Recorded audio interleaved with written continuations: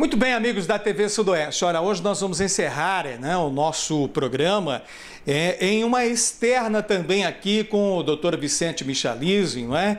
é? que é advogado e também representa o Sindicato Rural aqui de Pato Branco, neste caso né, da recuperação judicial do Grupo Lavoura, que teve agora a aprovação é, para o início da fase, de uma nova fase, uma fase muito importante né, em toda esta caminhada aí que este, esta empresa se lançou não é, aqui no município de Pato Branco. Bem, doutora Vicente, nossos é, telespectadores, né, entre eles muitos dos credores do grupo, né, devem estar se perguntando o que, que significa isso na prática, doutor Vicente, aqui para os ouvintes, para os telespectadores do TV Rural. Bom, primeiramente é importante destacar, né, Beto, que é, eu preciso separar a minha fala em dois momentos. Primeiro, como, como representante do Sindicato Rural, Devidamente autorizado pelo presidente Oradi Caldato a falar em nome da, da entidade, e como credor do, do, do Grupo Lavoura, né, que sou, tenho haveres a receber juntamente com o grupo familiar. E uh, digo isso por quê? Porque o, o, Sindicato Rural teve uma participação de fundamental importância no sentido de organizar os uh, agricultores credores até o momento da Assembleia de Credores que uh, votou o plano de recuperação judicial que foi apresentado pelo Grupo Lavoura. O sindicato nunca esteve próximo do Grupo Lavoura, o sindicato sempre esteve defendendo os interesses corporativistas da classe de produtores rurais, juntamente com o Sindicato dos Trabalhadores Rurais, que é presidido pelo senhor Avelino Zoc. E uh, esse trabalho do sindicato ele se deu até a fase de aprovação do plano pela Assembleia de Credores, que foi amplamente aprovado. Passada esta fase, né? Todo o processo foi concluído para o juiz, com todos os recursos, inclusive recursos que eu, como advogado, haveria, havia também questionado em relação aos credores que são chamados credores normais, os quirografários, as pessoas jurídicas, aqueles que não são agricultores, que não se enquadram como pessoa física agricultores. Né?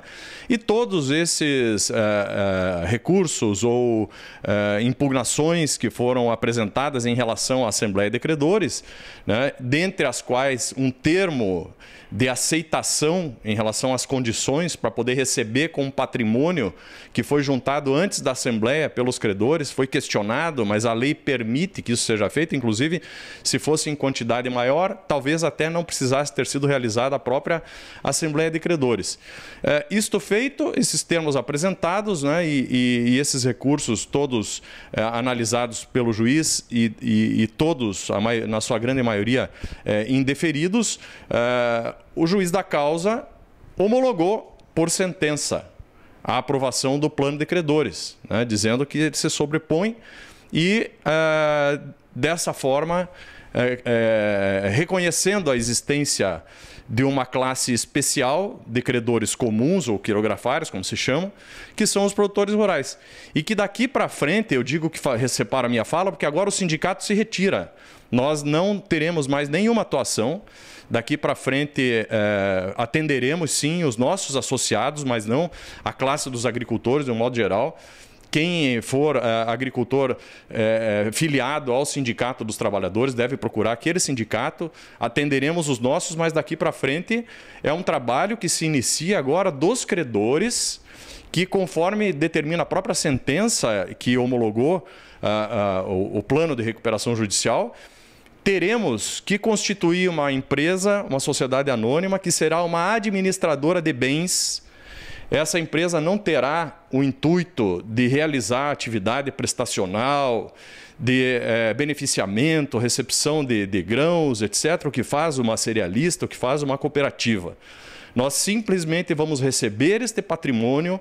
E, doutora, e qual é o valor deste patrimônio em relação à dívida atualizada hoje, só para que a gente tenha uma ideia? Eu não tenho esses dados para te informar assim de pronto. Eu teria que consultar o processo e até porque. Uh, a determinação é clara: somente serão beneficiados os produtores rurais que aderiram ao plano. Então esse valor é muito variável, ou seja, todos aqueles que aderiram até a data, até o dia da Assembleia, né, e que têm os seus termos eh, de, de eh, adesão a, a, ao, plano, ao plano de recuperação judicial serão beneficiados. Então teria de fazer um cálculo para ver quanto que, que, é, quanto que são esses valores né?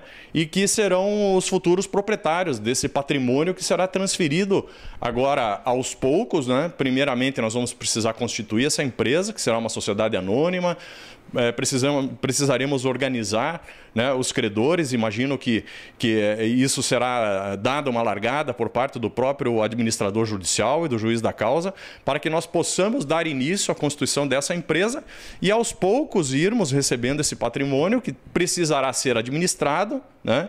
Num primeiro momento, existem alguns bens que já estão arrendados, que geram uma receita né, para o, o, o conjunto de agricultores que serão beneficiados com esse recebimento. Uh, e a intenção é é, trabalhar com a venda desse patrimônio depois para que ele possa ser convertido é, em, em, em pecúnia, em dinheiro, para que cada qual receba os seus valores. Desde... Acredita que chegará a satisfação do crédito de todos os credores? Dos credores, dos credores de, de, todos os credores, sim. Eu digo com relação ao patrimônio sim. daqueles que assinaram o termo de concordância, ou pessoalmente, ou através de advogado, ou através dos sindicatos. Né? Quem não assinou fica na fila, se sobrar alguma coisa, poderá receber lá adiante. Na verdade, assim, quem não assinou o termo, né, é importante que consulte os seus advogados, o sindicato afiliado, porque tinha o prazo até a data da Assembleia para fazê-lo. Né? Em não fazendo, entra na condição de credor quirografário dentro daquela proposta que foi apresentada pelo Grupo Lavoura e aprovada pela Assembleia de Credores, que é do recebimento com o deságio né? e naquele prazo lá de 18 anos para receber, o deságio de 80%. É, dificilmente né, terá um crédito satisfeito na, no volume original, né, corrigido. Né? É, na verdade, na integralidade não. Por isso é que eles apresentaram, por isso que a empresa apresentou né, essa proposta que seria a única é, execuível do ponto de vista contábil e que eles apresentaram na Assembleia de Credores.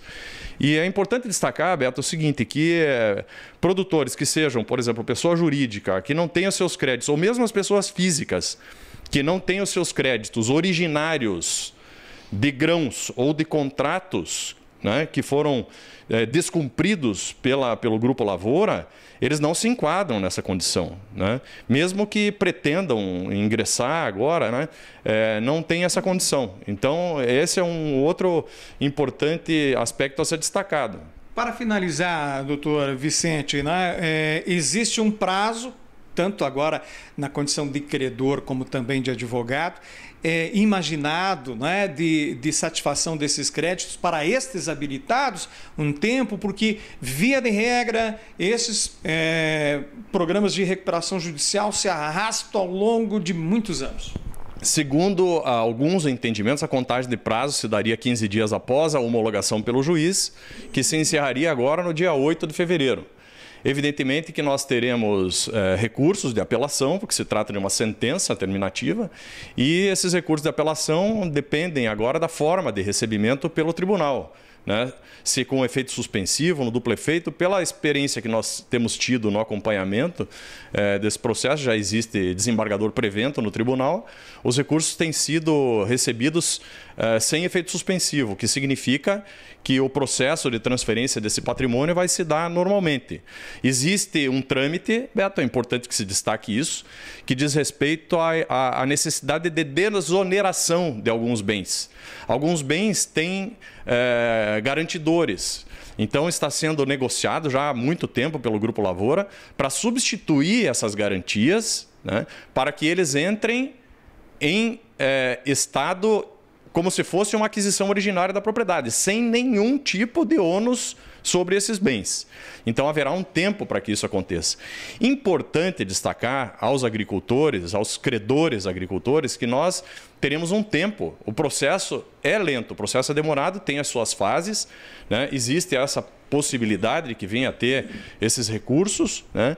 e haverá um tempo até, até receber. O importante é que os nossos créditos passarão a estar atrelados a um valor imobiliário, um ativo.